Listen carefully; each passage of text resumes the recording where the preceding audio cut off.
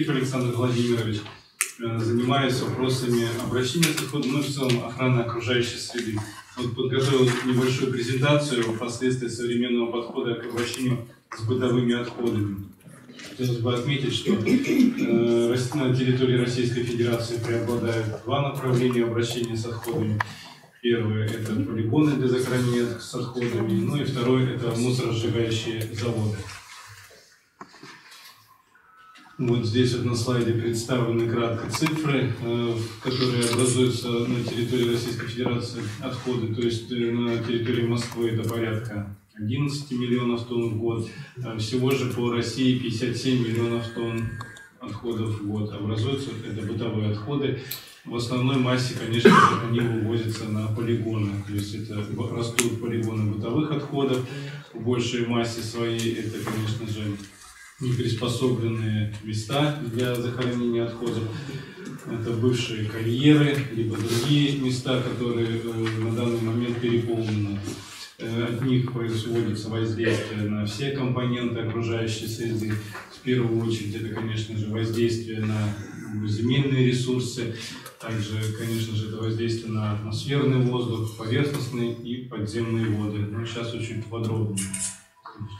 Вот рассмотрим на примере полигона Тимохова, одного из крупнейших полигонов на территории европейской, европейской части Российской Федерации, в целом Европы. Как мы видим, э, вблизи полигона размещаются крупные э, водные объекты, которые э, образовались в целом благодаря размещению, несанкционированному размещению мусора на полигоне. Полигон не соответствует многим нормативам и стандартам для захоронения отходов. То есть э, он периодически возгорает, э, в большей части отсутствует дегазация полигона, также производится воздействие на подземные и поверхностные воды.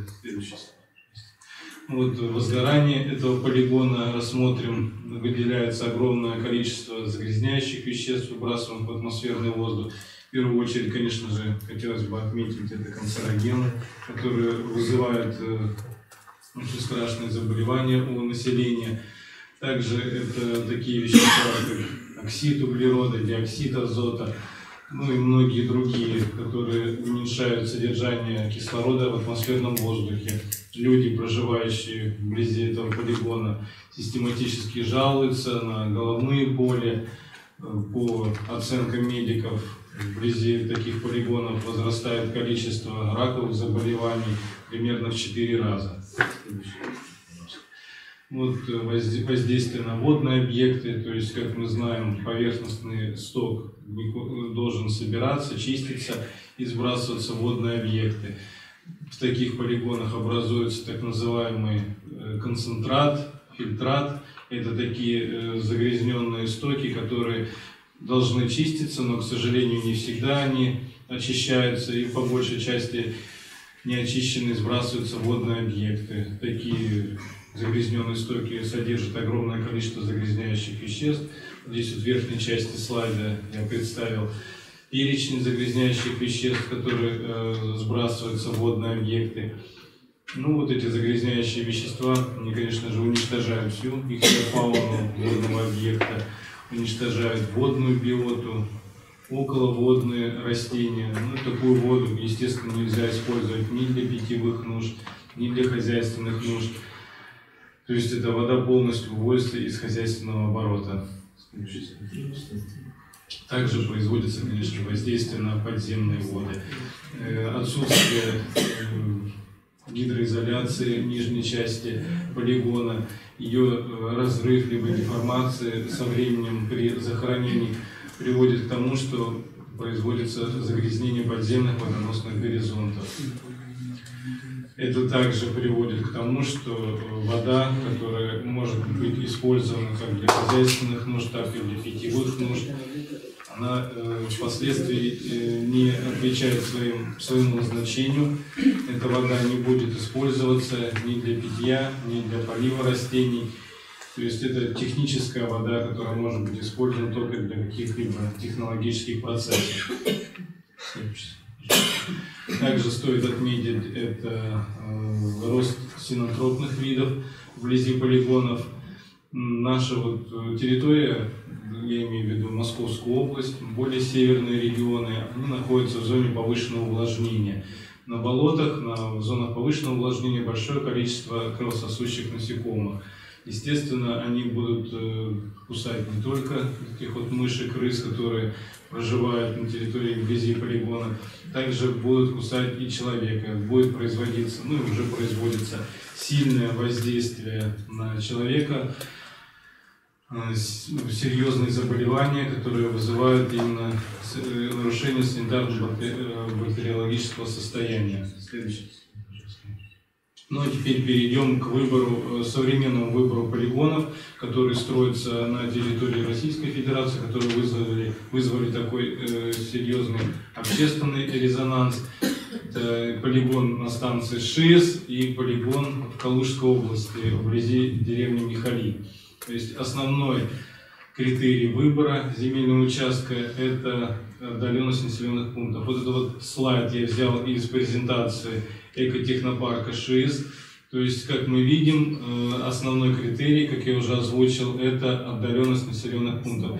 Какие-либо другие э, экологические аспекты, они вообще не принимались к рассмотрению. То есть строительство началось без каких-либо, без какой-либо разрешительной документации, без согласования э, с инспектирующими органами, ну, в разрез с существующим законодательством. То есть это в обоих случаях и в Михалях, и на Шиесе это незаконное строительство. Следующий слайд, пожалуйста. То есть, как вот я уже озвучил, это э, низкая численность населения, отдаленность населенных пунктов, как мы видим по Ленскому району, вблизи Шиеса, это менее 12 тысяч населения, а по Михалям также очень низкая численность, это порядка 100 человек, на данный момент проживают 200 человек в этой деревне. Ну вот это э, природа станции ШИЭС, как мы видим, это болото, заболоченная местность, но это вот фотографии сделаны в зимний период, далее будут фотографии в летний период. То есть это нетронутая территория, там природа сохранила свое полностью видовое разнообразие к началу освоения региона. Мы видим, там животный мир представлен э, различными видами, которые характерны для территории европейской части Российской Федерации. Они действительно проживают, ну, эти виды есть. Вот, да, теперь рассмотрим незаконные строительные работы, которые вот на ШИИСе ведутся. Это, значит, вырубка древесной растительности, это строительство линейных коммуникаций, э, лепки и автодороги, бурение водозаборных скважин, ну и вообще э, отсыпка территории, изъятие торфяного торфа, это почвенно-растительный слой, который э, присутствует на болотах, ну и засыпка его э, песчано-гравийной смесью. Следующий слайд, Вот на этом слайде мы видим незаконное строительство линии электропередач, также видим вырубку древесно-кустарниковой растительности, ну, это все также работы происходят без какого-либо согласования. Вот это тот же ШИС, то есть мы видим везде э, вода присутствует, то есть это заболоченность территории. Период, когда на этой станции были гулаги, то есть в середине прошлого века, э, на этой территории даже людей не хранили. Их вывозили э, в другие населенные пункты, потому что на болотах хоронить людей нельзя. А вот наши власти решили, что там можно теперь захоранивать отходы.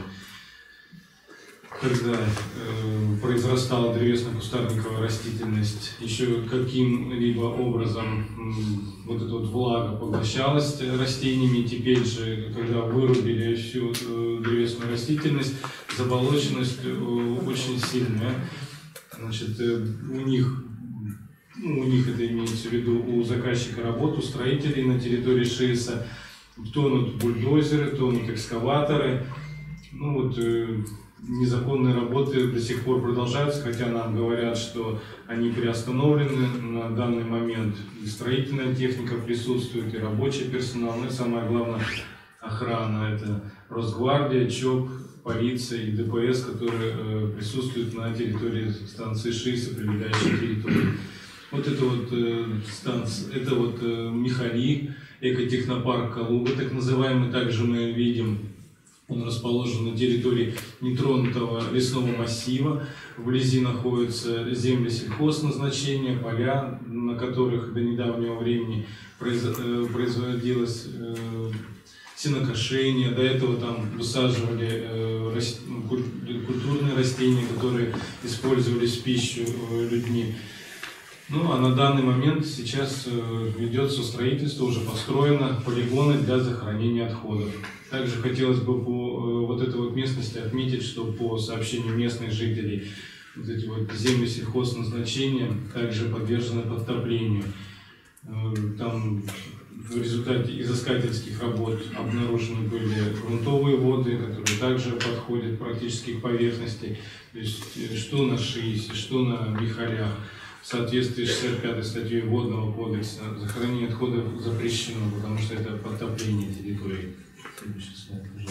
Александр Владимирович, много у вас Нет, нет, все, я заканчиваю. Теперь к чему мы все-таки, к чему это все приводит? Это вот столкновение на станции ШИС, когда экологические активисты, выступающие против незаконного строительства, вот, э, вставали грудью на, э, на автодорогах при подъезде э, техники строительной, при подвозе горю, горю, горюче-смазочных материалов, строительных конструкций. Ну и происходили, конечно же, столкновения не раз с частными охранными предприятиями. Полиция бездействовала, она никоим образом не защищает права местных жителей. То есть она защищает только права э, ЧОПа. Заводятся уголовные дела на экоактивистов. Вчера вот буквально также одного из экоактивистов приговорили к 400 часам э, работ исправительных. Это вполне нормальные вещи для территории ШИСа. Там российское законодательство не действует. Там действуют бандитские законы мусорной мафии. Следующий слайд. Чему опять-таки это все приводит? Это митинги, э, стихийные митинги. Некоторым, некоторые митинги мы все-таки согласуют. Во всех населенных пунктах э, Республики Коми, Архангельской области, иных городах Э, производятся массовые пикеты, одиночные пикеты, митинги в Архангельске, по 10 тысяч человек собирали эти митинги.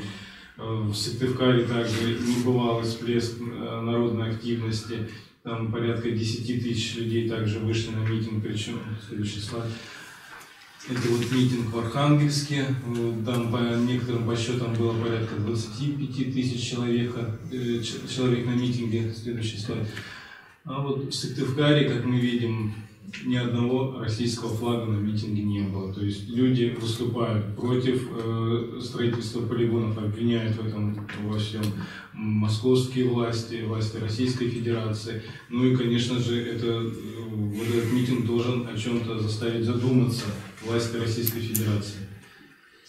Ну, все, в принципе, я закончил. То есть хотелось бы от себя добавить, что ситуацию с отходами, конечно же, надо менять. Менять надо сегодня, потому что у нас не будет завтрашнего дня, если мы не сможем э, что-либо сделать со своими собственными отходами, которые мы же производим. Спасибо.